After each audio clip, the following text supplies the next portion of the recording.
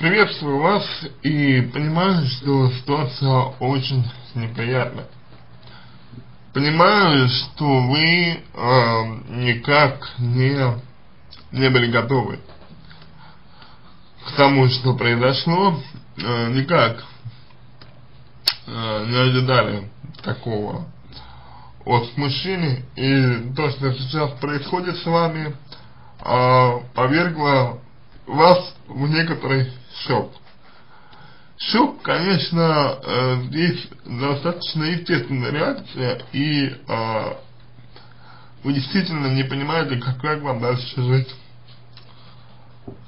Во-первых, э, и, наверное, это самое главное, нужно понять одну важную вещь, что молодой человек, э, мужчина, ваш мужчина, он э, пришел к тому, что э, есть сейчас, осознанно. То есть он осознанно делает такие вещи, как э, изменяет вам, как э, имеет отношение другой, другой женщине, считает для себя возможным э, свободные отношения. Подобная политика, подобная э, стратегия поведения связана у человека с тем, что вообще говоря, э, у него уже это далеко не первые отношения. Не вторые и, к сожалению, не третьи. И за это время человек понял, что вообще-то говоря, эм, сложно сохранять э, верность э, одной женщине. Одной женщине. Почему? Дело в том, э, что когда э, люди вступают в брак уже не первый, не второй, у них эмоциональная вовлеченность, а личная эмоциональная вовлеченность в отношении с человеком становится меньше. И волей-неволей человек понимает, что вот быть преданным, быть преданным только одному невозможно. Да, это неправильно. Да, это неверно, да, это аморально, может быть и так далее, но человек так думает. И ваш мужчина пришел э, к осознанию этого, э, как бы сказать, естественным путем. То для него это нормально. Он сейчас думает, что его брак, э, предыдущий брак, развалился именно потому, э, что он старался быть преданным именно одному человеку, одной женщине. А ему сейчас кажется, что если он будет э, параллельно общаться с другими э, женщинами, другой женщиной, например, как вот с этой, то этот брак, то есть брак с вами, он сохранит, он сможет сохранить. Так это или нет, э, мы сейчас речь не ведем. Важно одно, у мужчины такое мнение.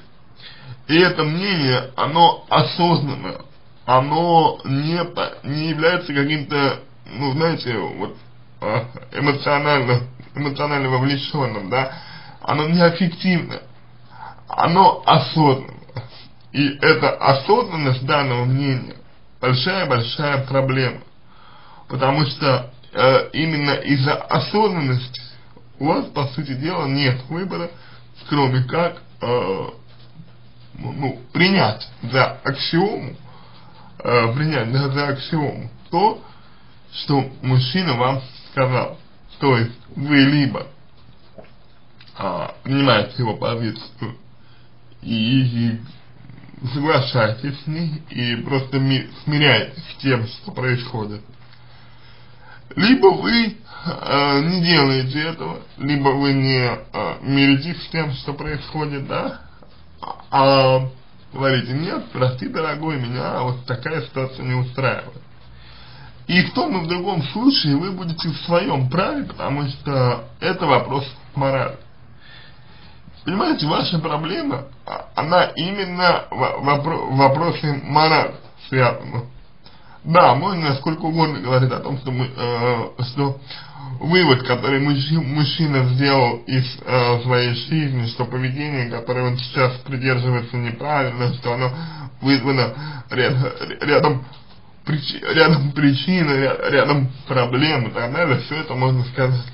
Но все это не имеет, по сути, никакого смысла, потому что мужчина-то уверен в том, что у него все хорошо, мужчина-то не считает данную ситуацию проблемой. А раз мужчина не считает данную ситуацию проблемой, то и у вас э, выбор только один. Это сам, самой в одностороннем порядке решать, является ли, ли для вас эта проблема или нет. Можете ли вы э, мириться с тем, как мужчина себя ведет по отношению к вам? Вот вы пишете, что вам все равно больно, что вы измениться не можете. Значит, а, по, а, ну, по, по, судя по всему, да, судя по всему, а, у вас нет такого а, морального представления о том, что вот подобное отношение нормально. И это ваше право вам нужно просто-напросто сделать выбор, то, то, то есть определить для себя, хотите ли вы э, жить так или хотите жить по-другому, и дать мужчине понять, э, что вы там, не, не будете терпеть такое его поведение в силу ряда причин, и все, по сути дела.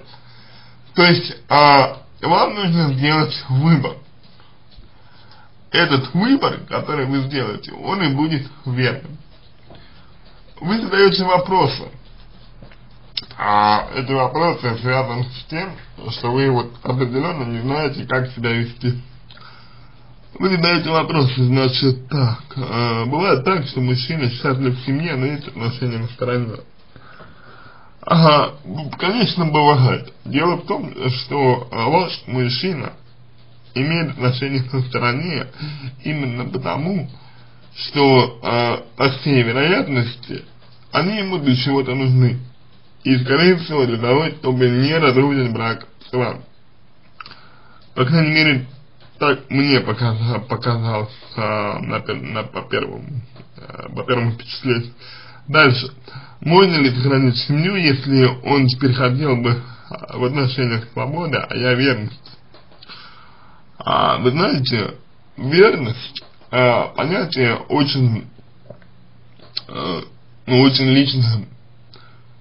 Если а, вы попытаетесь а, то, что вам а, мужчина сказал, воспринять буквально, то есть то, как вот он э, это представил, а именно – что он э, женщину не любит, да, что он э, любит только вас и хочет семью, семью с вами, а с ней он просто в свободных отношениях. Это значит, что э, с его точки зрения он вам не изменяет, потому что для него измена это немножечко другое. Он любит вас, он хочет семью с вами, значит для него все в порядке. И вы не сможете э, ему, судя по всему, объяснить, что то, что он делает, является, не, является изменой, является неверностью. Потому что для него э, у вас обоих представление о верности и о неверности несколько разные. И поскольку подобное складывается в результате личного опыта, то нельзя говорить о том, э, что у вас в обязательном порядке а, получится донести до мужчины свое представление о верности. Потому что у него есть свое.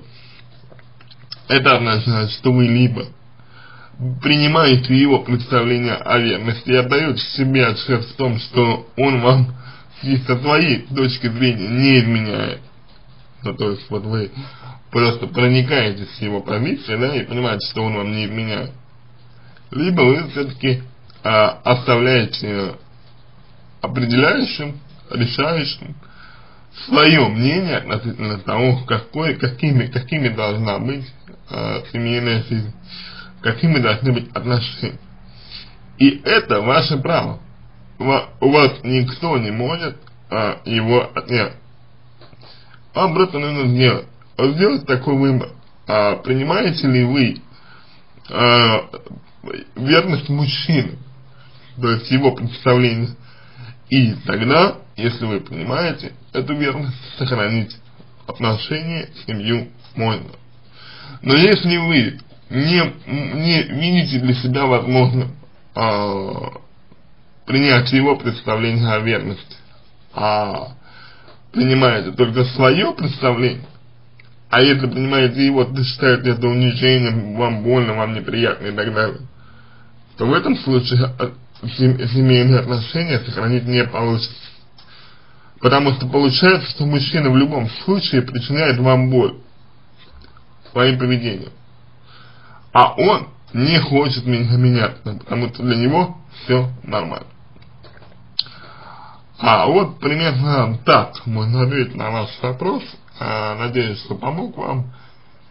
Если какие-то дополнительные вопросы остались, обращайтесь в личку, помогу.